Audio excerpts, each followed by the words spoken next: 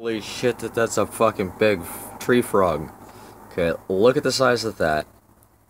Here is my finger. I'm gonna touch it. See? That's my finger touching it. Now, look at the normal sized tree frogs that we have out here. I'll touch one. My finger's almost as big as the tree frogs around here. All the rest of them. That guy's huge. A beast of a frog.